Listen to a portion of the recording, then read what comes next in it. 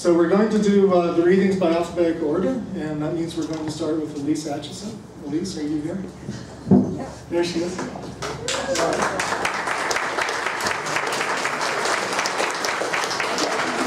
Elise is one of the wonderful writers whom I, I didn't have a chance to work with until this, this project. She contributed a fantastic short story. Um, she has appeared in the South Dakota Review, Montana Quarterly, Jackson Hole Review, Cutthroat, Reflections West Radio, and elsewhere. She recently received an artist grant from the Barbara Deming Memorial Fund for her novel in progress. Uh, and I know she's reviewing books for Montana Quarterly as well. So please welcome Elise.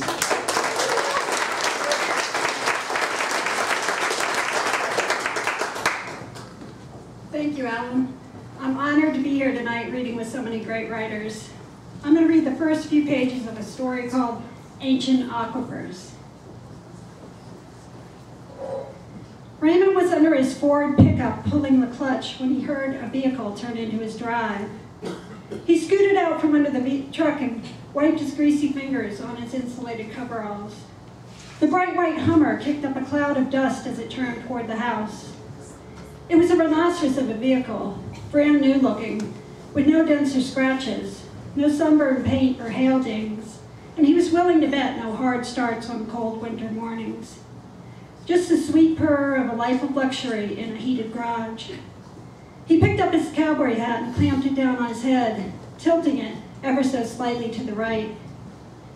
The driver waved, a woman's delicate fingers undulating on the other side of the windshield.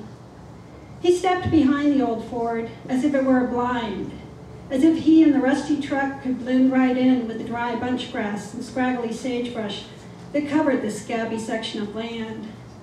He could have been a white jackrabbit who thought he was still crouching in the winter snow, a drab brown rattlesnake who didn't realize he was lying in the middle of the blacktop until a semi rolled over him.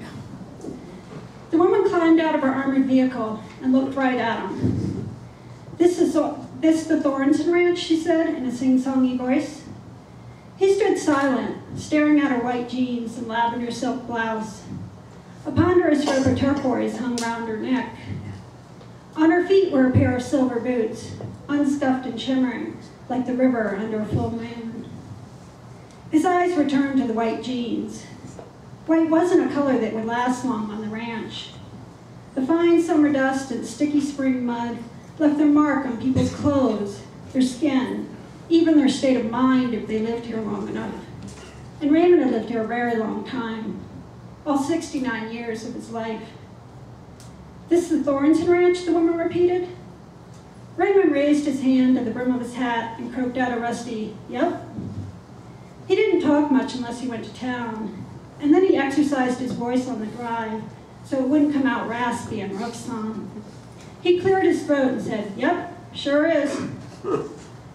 The sweep of her strawberry hair flowed down to her chest like the mane of a red roan he used to have. He couldn't help noticing the deep cleavage revealed by her unbuttoned blouse. The full, round breasts made him redden and look away. Is the place still for sale? the woman said, glancing from the ranch house to the ragged hills rising up behind it. Seems to be, he said. You the caretaker? Guess you could say that. I own the place. Oh, she looked flustered for a moment, but she quickly regained her composure. I'm Yolanda, she said, holding out her hand. Yolanda, he repeated to himself. It was a buttery name, slipping out smooth and creamy on the tongue of his mind. It almost made him forget that she was here to buy the ranch. He stuck out his hand and she looked down at his greasy fingers and laughed. He pulled his hand back and said, Sorry about that. I've been working on my truck. He nodded toward the Ford with its oily innards spread out on the ground. She laughed again, revealing an immaculate row of snowy white teeth. When she turned to take in the ranch, he caught a whiff of something exotic, a scent that conjured up salty breezes drifting off a tropical sea, bare skin against white sands, the shadowy hint of coral reefs under clear blue water, a lush land oceans away from the dry, bleak landscape he lived in. Of course, he could only imagine such things. He'd never actually been to the ocean. He'd never been further south than Denver, where he'd go gone to a farm implement sale a decade or so ago. But something about that scent seemed familiar. It reminded him of Mandy. He never had time for a woman after high school. Mandy had been the only one. She had been his girlfriend for his junior and senior years.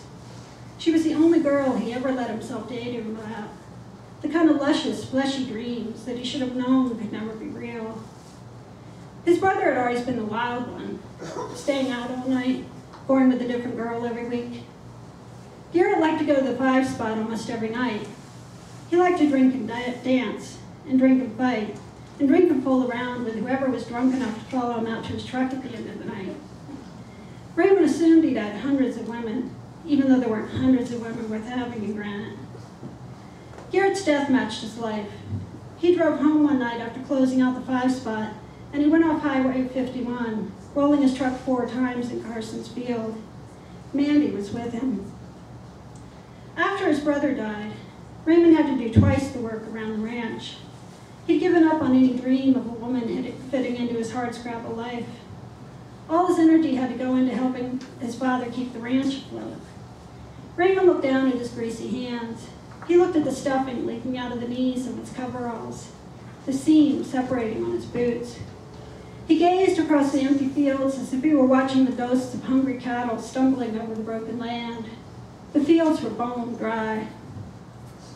Yolanda's eyes followed his gaze and she frowned. The real estate agent said you had water.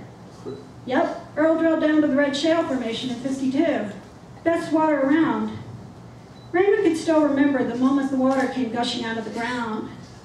The driller said they had hit a pocket of paleo water trapped down in some ancient aquifer under their land. He said the water had been sitting under there for eons, just waiting for someone to pull it back up into the light of day.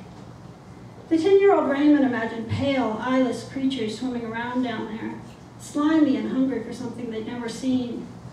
He was sure they would shrivel up into lumps of mush in the bright, hot light of the sun. But when he cupped his hands and tasted that ancient water, he knew it was the best water he'd ever tasted.